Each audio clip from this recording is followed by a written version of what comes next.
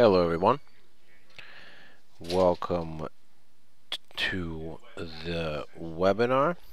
Uh, we are going to be talking about the RBNZ monetary policy announcement and uh, we are going to be um, both looking at setups ahead of the release as well as um, looking at uh, the actual outcome. We're going to look through the policy statement and uh, attempt to get a sense for exactly what is uh, going on here. Uh, but uh, before we uh, launch deeper into the conversation, if you guys could please type into the chat box that uh, I've opened up next uh, to the video screen there. And let me know if you can hear me. And let me know if the uh, video is coming through okay for you.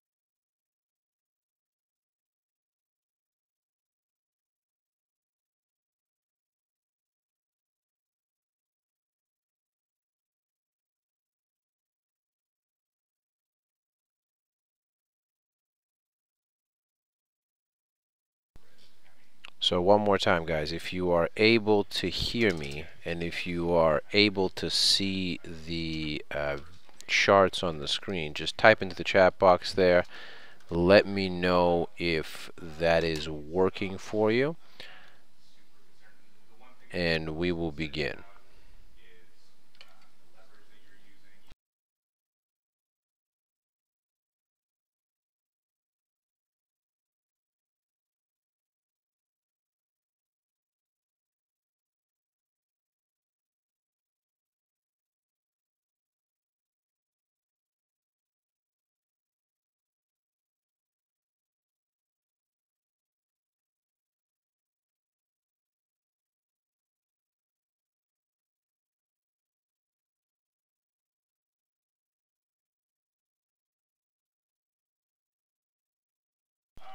Okay, excellent. So looks like we are good to go. So let's begin first with a conversation about um, the probabilities uh, that uh, we have ahead of this announcement uh, and what they mean for the likely outcome. So first and foremost, we are looking at a heavily skewed positioning uh, here ahead of this announcement. Uh, the markets imply a 100% um, chance of at least a 25 basis point cut and a slight possibility of a 50 basis point cut. So the overwhelming view here is dramatically, dramatically dovish. Now, that obviously suggests that if the RBNZ were to actually cut rates, and if they were to do it by 25 basis points, nobody would really be particularly surprised. The surprise could come from, in that case, uh, a variety of places. And of course, a surprise would be needed to make for a market moving announcement. If uh, the markets already see a 100% uh, probability that uh, there's going to be a cut, then that is almost certainly baked into exchange rates to a pretty significant extent. I wouldn't say all the way baked in, because anytime that something goes from um, speculation and becomes reality, there is a degree of um, repricing that occurs. So I wouldn't say that necessarily there is uh, not going to be a move lower at all in the event that there's a cut, that it's already all the way priced in, but I wouldn't expect that move to be lasting um, whatsoever if all we got from the RBNZ was just a cut. The larger issue uh, would be um, if the statement that the RBNZ issues in conjunction with any sort of cut does not materially match established expectations. Now, as it stands, the markets see at least one more RBNZ cut in play after this one over the coming um, the coming 12 months. So in other words, uh, the market sees the RBNZ cutting this time and at least one more time between now and uh, this time next year with a slight possibility that actually they're going to do a little bit more. In fact, as it stands, the markets envision 67 basis points in easing over the next 12 months. That's a little bit more than 50, so a little bit more than a pair of cuts, this one and another, but not quite 75, which would imply three cuts, this one and two more thereafter. So the critical thing that we're going to be watching here is the tone of the language. If the tone of the language is aggressively dovish, then perhaps the markets will be more so convinced that the RBNZ will do two cuts after this one versus one. But that's a pretty granular adjustment. It's an adjustment at the market uh, at the margin. And so we're probably not going to get a tremendous amount of follow through in the subsequent weeks and months on that basis. Or at least on that basis alone.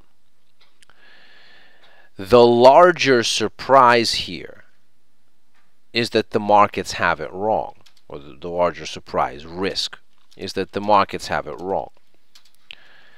That maybe the RBNZ does deliver a cut, but maybe the rhetoric that they deliver is going to be far less dovish than implications of one, maybe two cuts in the at some uh, at some point in the second half of this year, first half of next year, would envision.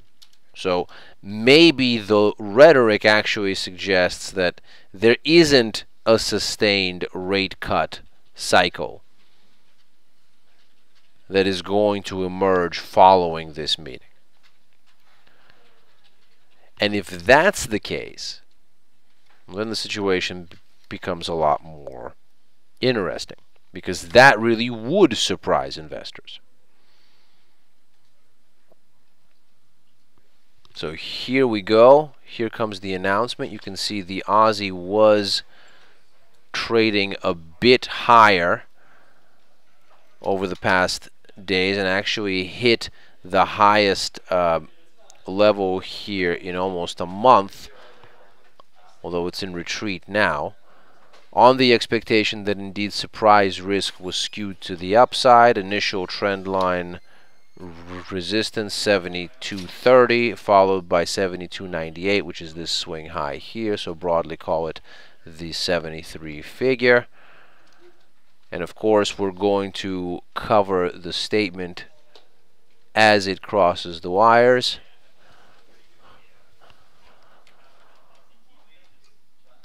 Just seconds away here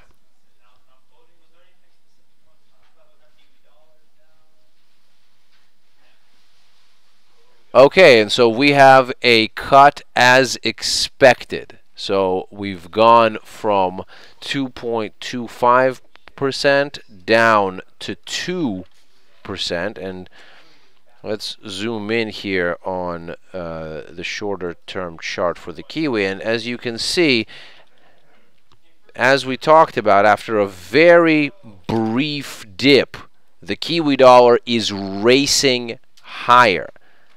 Again, even though we have a cut, the Kiwi dollar is heading upward. And so what we're going to do here is we're going to go through the policy statement and we are going to see what has been the language that has inspired this.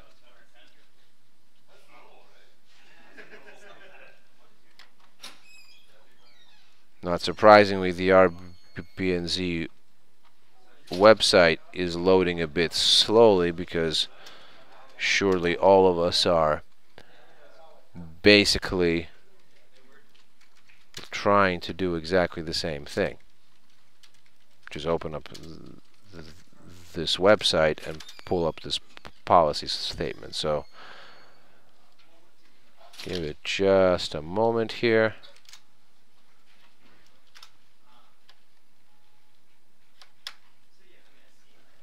But clearly the market's dovish uh, projections are not being met here. So here's the policy statement. I'll give you guys the link to that as well so that we can follow it together. And one guess says it makes no sense. It makes absolutely perfect sense. In fact, I've been uh, writing about it for the past 48 hours talking about why this would makes this would make sense. I'll give you guys some links. So here is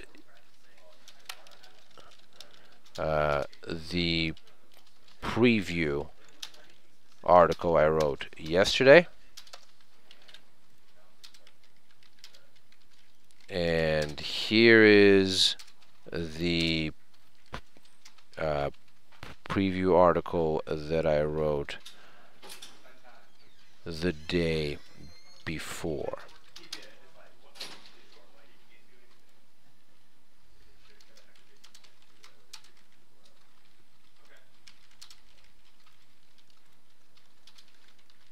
So, both of them explaining why the Kiwi was strengthening into this announcement and why the risk would be that it would strengthen further once the cut came. So let's read this policy statement. We'll start from the uh, the bottom. That generally tends to be uh, where the key point is. Uh, so last paragraph here, monetary policy will continue to be accommodative Our current projections and assumptions indicate that further policy easing will be required to uh, ensure that further inflation uh, or that that future inflation settles near the middle of the target range. We will continue to watch closely the emerging economic data. In other words, no clear deviation here from the policy statement as uh, it was delivered last month. For a few months now, the RBNZ has been saying that further easing will be required. And the rhetoric is largely unchanged. So not really a strong signal here suggesting that the RBNZ is ramping things up in any sort of way. So let's, um, let's keep reading here. Headline inflation is being held below the target band by continuing negative tradables inflation.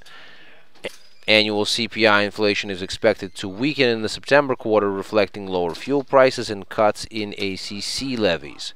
Annual inflation is expected to rise from the December quarter, reflecting the policy stimulus to date, the strength of the domestic economy, reduced drag from tradables inflation, and rising non tradables inflation. Although long-term inflation expectations are well anchored at 2%, the sustained weakness in headline inflation risks further declines in inflation expectations. In other words, the RBNZ is laying out a case here for saying we expect things to gradually improve already by the end of this year. Now, what that means essentially in practice, if the RBNZ expects that inflation is going to be rising in the December quarter, that essentially near term easing is broadly off the table at least for the next meeting, at least in September. If the RBNZ is saying we are not uh, going to see inflation rising until the December quarter, the subtext is when they meet on September 22nd, they're not going to cut again. Maybe then they could uh, cut again uh, in um, November, but that seems unlikely because New Zealand has a uh, a quarterly CPI report and December quarter uh, CPI data is not going to be available until early 2017.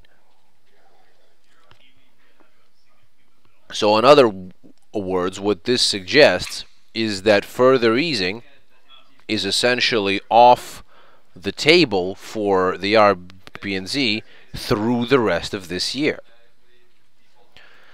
Let's keep going. House price inflation remains excessive and has become more broad based across the regions, adding to concerns about financial stability. The bank is consulting on stronger macroprudential measures that should help to mitigate financial system risks arising from the tepid escalation, or rapid escalation rather. Uh, that seems to make a lot more sense, doesn't it? Uh, in house prices. Now, this, of course, is again a case against cutting rates further. What the RBNZ is telling us here is that we have a situation whereby the housing market continues to be buoyant and prices continue to rise aggressively, despite the macro prudential measures that the RBNZ has already taken. Now, obviously, cutting rates would reduce the cost of borrowing, which would only stoke further uh, the already buoyant housing market that clearly the central bank is expressing concern about. Right? They're clearly saying we think this is a risk for financial stability. What happens if you cut rates? Borrowing to finance the purchase of a home becomes cheaper. More people are going to do it. So the price of housing will only rise further, which would presumably exacerbate the risks that are posed by the uh, the housing crisis that the RBNZ, or we'll say the housing bubble. It's not quite a crisis yet. The bubble hasn't popped so far, anyway. But it would certainly exacerbate the risks posed by the bubble as it's building. So, again, what this is suggesting is that the RBNZ is consulting on further macroprudential measures, but while those measures go through consultation, uh, while they settle on which measures they're going to use, while they figure out how they're going to use them, while they implement them, while they wait for them to work and show if if there is in fact an effect following implementation, There's a bunch of time that's likely to pass there. So again, delaying further cuts. Because what the RBNZ needs to happen is for these macroprudential measures to actually work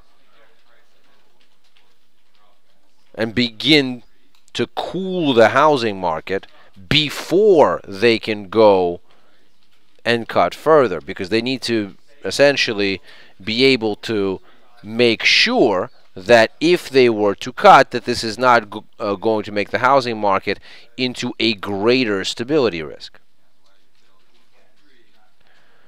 Let's keep reading. Domestic growth is expected to remain supported by strong inward migration, construction activity, tourism, and accommodative monetary policy. However, low dairy prices are depressing incomes in the dairy sector and reducing farm spending and investment. High net immigration is supporting strong growth in labor supply and limiting wage pressure. So, in other words, there of outlining the case for why inflation is low and which uh, risks uh, that we talked about earlier um, appear in the tradable sector. When they're talking about dairy, what they're essentially talking about is a commodity that amounts to 30% of New Zealand exports, a little bit more actually. So, what we're essentially getting here is just an explanation of this is why inflation is low. Weak global conditions and low interest rates relative to New Zealand are placing upward pressure on the New Zealand dollar exchange rate. The trade weighted exchange rate is significantly higher than assumed in the June statement. The high exchange rate is adding further pressure to the export and import competing sectors, and together with low global inflation, is causing negative inflation in the tradable sector. This makes it difficult for the bank to meet its inflation objective. A decline in the exchange rate is needed. So it's funny that, of course, in response to a statement like that, the Kiwi dollar rallies because clearly they can't really do anything about this. They're essentially and reasonably laying out uh, the case that uh, global monetary easing is very aggressive. Easing in New Zealand has been relatively more tepid. I mean, consider Japan has negative rates, Europe has negative rates, the U.S. can't make it more than 25 basis points above zero. Uh, Switzerland has negative rates, and rates in virtually every other G10 economy are lower than they are in New Zealand. So, not surprisingly, the Kiwi is more attractive.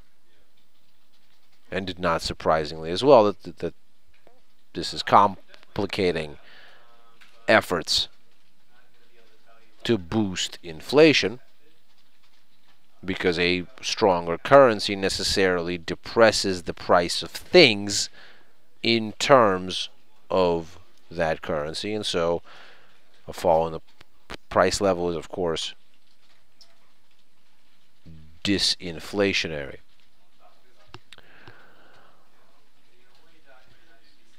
all right last paragraph from the bottom or first paragraph from the top uh, global growth is below trend despite being supported by unprecedented levels of monetary stimulus. Significant surplus capacity remains across many economies and, along with low commodity prices, is suppressing global inflation. Some central banks have eased policy further since the June monetary policy statement, and long term interest rates are at record lows. The prospects for global growth and commodity prices remain uncertain. Political risks are also heightened. So essentially all the things that we knew. But clearly, the picture that the RBNZ is painting here is one where they would like to ease further. They need to ease further. But their inflation outlook envisions that they won't have data to support doing this probably through the rest of this year and they are seeing their hands tied by continued buoyancy in the housing market and they're going to attempt to figure out a uh, stronger macroprudential effort to take care of that so that they can have the door open for more easing. But it remains to be seen when that actually is going to happen. So, so in other words, what uh, the takeaway here is is that the markets were looking for signals confirming a sustained easing cycle, and they didn't get it. And so, not surprisingly, the Kiwi dollar is higher. Let's take a look at the daily chart here, and you can see that uh, at this point, the pair is on pace to take out this falling trend line resistance and is testing the double top up here near the 73 figure. So we're going to have to watch this and see if this is going to hold as some kind of a topping uh, setup or if indeed we are going to get a break over the next uh, 24 hours. I'm looking for that break to be confirmed on a daily closing basis. Then we'll see if it is confirmed where things progress from here. One way that we could look at potential subsequent levels is we could look at a fib expansion like this where this is the dominant advance this is the correction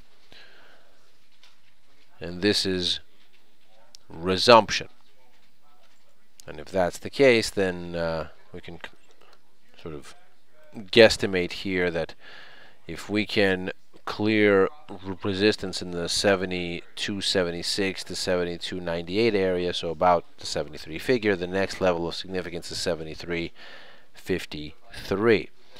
If we take a little bit of a longer term view, and we actually say this is the dominant advance right here, and this is the correction, let's introduce some of these smaller levels back into the equation. Then you can see that near term resistance is basically in the 73 to 73 to 25 area and the next big level 74.40 alright thank you everybody for joining me. Fortunately we are out of time here so we will wrap things up. If you would like to follow up with me by all means feel free to ask any further questions via Twitter at Ilya Spivak if you would like to sign up for my email distribution list and receive my analysis directly, such as the articles I was posting earlier, explaining why this was likely to happen even though there was a cut, you can sign up there. It is, of course, absolutely free. Once again, thank you for joining. Good luck out there. Take care.